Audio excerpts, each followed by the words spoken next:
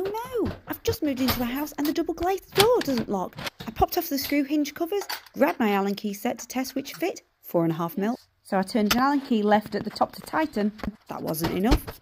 And the same for the middle and the bottom which was the loose one.